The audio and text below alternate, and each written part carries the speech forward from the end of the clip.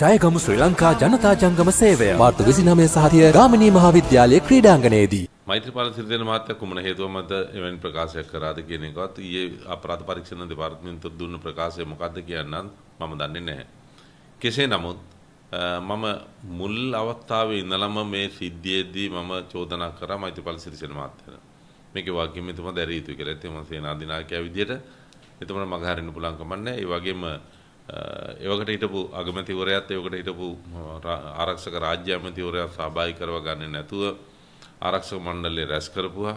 ඒ වගේ කාරණා ගන්නාවක් එතුමා සිංගප්පූරු ගත කරපු හැටි සිංගප්පූරු ඉඳලා මෙහෙට එන්න විදියක් නැහැ කියලා ආසන නැහැ කියලා ඉවරලා කියපු ප්‍රකාශ. ඒ සියලු කාරණා එතුමාගේ ප්‍රකාශات එක්කලා විමර්ශන වලදී තහවුරු වෙන්නේ නැහැ. ඉතින් කොහොම වෙලා හරි තමන්ගේ වගකීම ඉෂ්ට නොකිරීම නිසා සිදුවෙන අපරාධයක් තියෙනවා නම් ඒ නොසලකිලිමත් ක්‍රියාවකින් සිදුවෙන අපරාධයක් ඒ අපරාධය සම්බන්ධව දඬුවමක් නීතියේ තියෙනවා. ඉතින් එහෙමනම් මෛත්‍රීපාල සිරිසේන මහත්තයාට විරුද්ධව චෝදනාවක් තියෙන එක අධිකරණය පිළිගත්ත නිසා මම වගේ මිනිහ පිළි අරගෙනම නෙමෙයි. අධිකරණය පිළිගත්ත නිසා තමයි එයාට මට මතක විදිහට මිලියන 100ක ගෙවන්න කියලා අධිකරණයෙන් නියෝගයක් දීලා තියෙන්නේ. එhmenan අපරාධමය චෝදනාව කෘත්‍යයට එල්ල විය යුතුයි කියන එක මගේ මතය. ඒ චෝදනා එල්ල නොවීම පිළිබඳව අතවසෙම අපි කනගාටු වෙන්නට ඕන. ඒ අපරාධමය චෝදනාවත් එතුමට ආවනම් ඒකෙදිත් අපරාධිකරණයෙන් බලන්න තිබුණා. නොසලකිලිමත් ක්‍රියාවකින් යමක් සිද්ධ වෙලා තියෙනවද කියන එක නැත්නම් තමන්ගේ කාර්ය නොකර හැරීම තුළ සිදු වෙලා තියෙනවද කියන එක අධිකරණ විසින් තීන්දුවක් දෙයි. දැන් මෙවැනි වාතාවරණයක ශ්‍රී ලංකා දේශපාලන ඉල්ලුවොත් අපි ජාපේ සමග සංධානගත වෙනවා කියන මොකද්ද ඔය? මෛත්‍රීපාල සිරිසේන කියන්නේ එක පුද්ගලයෙක් ඔහුගේ ක්‍රියාකලාපය වෙනයි. ශ්‍රී ලංකා නිදහස් පක්ෂේ සමාජිකයෝ කියන එක වෙනම කාරණයක්. ශ්‍රී ලංකා නිදහස් පක්ෂේ නායකයා නායකයාත් සමගනේ පක්ෂයේ ඉන්නේ සංධානගත වෙන්න ආව. නෑ දැන් හැම දේශපාලන පක්ෂයකම ගත්තොත් එහෙම කුමන හොචෝ චෝදනා වලට ලක් වෙච්ච අය ඉන්නවා අධිකරණයෙන් වැඩිකාරයෝ වෙච්ච කට්ටියක් ඉන්නවා. ඒ අනුව අභ්‍යාචන ඉදිරිපත් කරලා මේ මේ ඒ අතරතුර කාලය මේ හිරගෙදරින් බැහැරව ඉන්න අයත් ඉන්නවා. ඒ ඉන්න අය දේශපාලන පක්ෂවලට මේ මේවට එකතු වෙලා වැඩ කටයුතු කරනවා. ඒ පාර්ලිමේන්තුව නියෝජනය කරන කට්ටියක් ඉන්නවා. එහෙම ඉන්නවා කියලා හැම පොදුවේ සියල්ලම අතහැරලා නැහැනේ. කාපු මකුණයි නොකාපු මකුණයි දෙකක්. දැන් පෞද්ගලික කාලේ මේ මහර්ගවට රැස් වුණා ආණ්ඩුවෙන් අයින් වෙච්ච රොෂාන් රණසිංහ එතකොට මාල් වීරවංශ මම්පිලි ඒ පිරිස. ඊතර සන්දානයක් ගොඩනගෙන ඩලස් ඇතුළු කණ්ඩායමක්. ඒ සන්දානේ ওই පැත්තකට හෝ ලයින් කරන්න පුළුවන්. බලාපොරොත්තු වෙන්නත් ඒගොල්ලෝ මේ පැත්තටම එකතු කරගන්න. නෑ බලමු ඉතින් අපි අපි හැමදෙනාම එකතු කරගන්න ස්ථාවරයෙන් ඉන්නේ. ඉතින් මේකද මේ රට ගොඩනගන්න හැමෝම එකට එකතු වෙන්න ඕන කියන ස්ථාවරය අපේ පක්ෂ නායකයත් ඉන්නේ අපි ඉන්නෙත් ඒ ස්ථාවරේ. ඒ නිසා අපි හැම කෙනාම එකතු කරගන්න සූදානම්. මොකද මේ සමාජය තුළ තමයි හොරත් ඉන්නේ, මංකොල්ලකාරයත් ඉන්නේ, ස්ත්‍රී දූෂකයත් ඉන්නේ, වෙනත් අපරාධකාරයත් ඉන්නේ. ඒවා අල්ලන්න ඉන්න පොලිසියත් ඉන්නේ ඒවට පෙනී හිටන නීතිඥවරු ඉන්නේ ඒට පෙනී ඒවා විමර්ශන විභාග කිරීමට ඉන්න අධිකරණ විනිසුරුතුමාලා ඉන්නේ මේ සමාජයේ. අර එකම පිටිකෝණී බඩු වගේ පොඩි පොඩි වෙනස්කම් තියෙනවා හැඩයන් රසයන් මේ ಗುಣ අගුණතාවයන් එක්කලා. බේකරි කාර්යයත් එක පිටිකෝණී ගෙනල්ලා නෝක ඥාන කතයි ප්‍රේම කතයි හුලම් බඩිසුයි ටී බණිසුයි කේකුයි බණ පානි ඔක්කොම ගහන්නේ. ඒ වගේ තමයි සමාජය. ඉතින් මේ සමාජයේ විවිධ අයව නියෝජනය වෙනවා. ඉතින් ඒ රස නැහැ කියලා රස අඩුයි කියලා හුලම් ඉස්කෝතු විසි කරන්නේ නැහැ. ඒ වගේ ඉතින් ඔක්කොම එකතු වෙලා මේක හදා ගන්න ඕන. දැන් ඔවුන්ගේ ප්‍රබල චෝදනා තමයි මේ එක්කාරි විසුම ගහලා මේ ඉන්දියාවට යටත් වෙලා ඉන්දියාවේ සීලුමේ. ඒක තමයි කැලලගේ ප්‍රධානම සටන් පාටේ දැන් ගෙනියන්නේ. ඒක ආණ්ඩුවට අභියෝගයක් නෙවෙයි මෙයන්නේ. දැන් ගිය වතාවේ තෝකමනේ කරේ. ගිය වතාවේ 2015 මේ මිස ආණ්ඩුව තියෙන කොටත් ඕකමනේ කරේ MCC ගිවිසුම මේක රට බෙදෙන ගිවිසුම. මේ රට එහා පැත්තට යන්න විස ගන්න ඕන මෙහා පැත්තට එන්න විස ගන්න ඕන.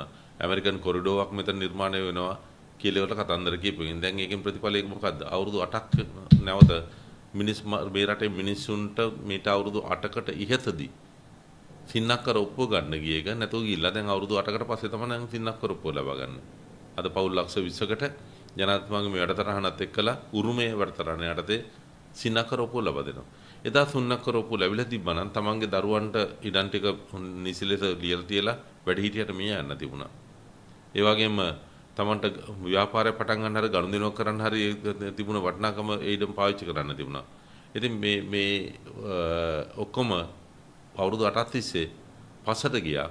මේගොල්ලෝ කියපු MCC කිව්සුමුන එරේව කතා කරපු එක. ඇමරිකාවේ සල්ලි ටික අරන් මෙහෙ වැඩ කරපුවා මේ මිනිසුන්ට වැඩේ කරලා දෙනකට විරුද්ධව කතා කරා. දැන් එඩ්කායකට විරුද්ධව කතා කරලා ඉවරලා තවත් කාලයක් අදින්න දැන්නේ. මේගොල්ලෝ හැමදාම බිල්ලු මාවපිකනේ. ගිහිල්ලා ඉවරලා එක්සත් ජාතීන්ගේ සංවිධානයේ ඉස්සරහ කාර්යාලය ළඟට ගිහිල්ලා ඉවරලා මේ කොට්ටවැදුරු දාලා බුදිය ගත්තා උපවාස කරනවා කියලා. හොර හොර රහසේ මොන හරි කොට්ටයට තියාන කාලය ඉවරලා ජීවත් වුණා. ඉතින් මේ වගේ ජනතාව රවට්ටන යමනේ කරලා තියෙන්නේ. මුලා කරනවන්නේ. දැන් එට්කා කීකයක් නැවත ජනතාව මුලා කරන්න. ඉතින් මේ රටේ ජනතාව තවදුරටත් මුලා වෙනවද නැද්ද කියන එක ජනතාව තීන්දුව කරන්න ඕන කාරණයක්.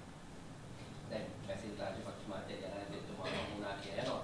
නමුත් පුවත් පැමිණි නම් එතුමා ඉල්ලන්නේ මහමැතිවරණයක් ජනාධිපතිතුමා අතරමං වෙලා ඉන්නේ කියලා. එතුමා හිතන්නේ මොනවද මොන වගේ සාකච්ඡාවක්ද මොන මැතිවරණයක්ද? ඉල්ලීම් ඔහොම ඉල්ලන්න පුළුවන් නේ ක්‍රිකට් මැච් එකට ගියාම ඔබ අපි දකිනවා ඕන තරම් අවස්ථා මේ අපීල් කරනවා ඉල්ලීම් කරනවා. අවුට් දෑට් කියලා අපේ ක්‍රීඩකයෝ කෑ ගහනවා. අම්පයි ඔක්කොටම අවුට් දෙන්නේ නැහැ නේ. ඉතින් මේ වගේ එක එක එක එක ඉල්ලීම් කරන්න පුළුවන්. නමුත් ඉතින් මේ ව්‍යවස්ථාවට අනුවනේ ජනාධිපතිතුමාට කටයුතු කරන්න තියෙන්නේ. ව්‍යවස්ථාවට අනුව කටයුතු නොකරොත් ජනාධිපතිතුමාට මුක්තිය නැති කිය දාතර ප්‍රශ්නයකට මුහුණ දෙන්න බෑ. ඉතින් ජනත්වය එතෙන්ට අහු වෙන්නේ නැහැ. එයා එතුමා ව්‍යවස්ථාව අනුව කටයුතු කරයි. ව්‍යවස්ථාව අනුව මේ සැප්තැම්බර් ඔක්තෝබර් අතර තියන්න තියෙන ජනාධිපතිවරණය. ඉතින් අනුව අපිට බලාපොරොත්තු තියාගන්න තියෙන ජනාධිපතිවරණය දිහා. කියලා. කාටද තියෙන්නේ? ඒක තිබ්බොත් හොඳයි කියන වාසිය තමයි. ඉතින් මහින්ද මහත්තයා එහෙමනම් ව්‍යවස්ථාව කඩ කරන්නට ඕන. ඉතින් මහින්ද මහත්තයා ව්‍යවස්ථාව උල්ලංඝනය කරන්න කැමතිද? ඔබතුමා විශ්වාස කරන්නේ ඉස්ලාම ජනාධිපතිවරණයද මහමැතිවරණයද පැත්තේ මම දැන් ඉස්සෙල්ලත් කිව්වේ ඒකයි. ව්‍යවස්ථාවනෝ පවත්වන්න තියෙන ජනාධිපතිවරණේ අපි විශ්වාස කරන ජනාධිපතිවරණේ තමයි පවත්වන්න කියන්නේ. ජනතුමාට බලයක් නැහැ දැන් මේ ඉදිරි කාලේ පාර්ලිමේන්තු ඉස්සරහින්. පාර්ලිමේන්තු විසිරා හැරීමට බලය තියෙනවා. පාර්ලිමේන්තු විසිරා හැරීමට නම් ඒකට හේතු තියෙන්න බෑ. මේ පවතින පාලනයට අකමැත්තක් තියෙන්න ඕනේ. එහෙම නැත්නම් ඊට වෙරෙහිව කණ්ඩායමක් ඉන්න ඕනේ. පාර්ලිමේන්තුවේ මේ බහුතරේ දැනට ආණ්ඩුව කරගෙන යන කණ්ඩායමට තියෙන තාක් කල් ඉස්සරවන්න හේතුවක් නැහැ නේ. බැසල් රාජපක්ෂගේ හමුවීම යම් කිසි විදියකට හෝ යක් දේශපාලන වෙතේ කියන්නේ යලිත් ඔහු ගේ බලපෑමක් තියෙයිද මේ රජයට? ඔහු පොහොට්ටුවේ නිර්මාතෘවරයා. ඒත් පොහොට්ටු පක්ෂය නියෝජනය කරන්නේ. ඉතින් එතකොට පොහොට්ටු පක්ෂයත් එක්කලා ජනාධිපතිතුමාට ආණ්ඩු කරන්න තියෙන UMPත් එක්ක මේ ආණ්ඩු කරන්නේ.